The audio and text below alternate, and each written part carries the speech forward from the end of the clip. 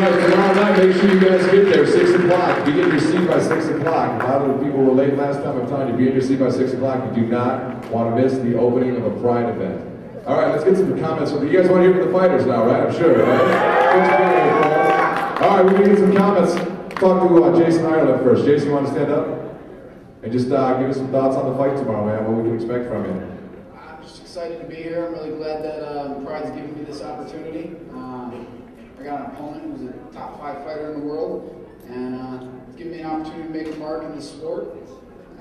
What can you ask for more? It's the fastest growing sport in the world, the number one organization in the world, and I'm here, and uh, I'm going to be here to stay. All right, Jason Ireland. Give it up Jason. Taking on Joachim Hansen from Norway. You ready, Joachim? Happy to be uh, fighting here in America for Pride.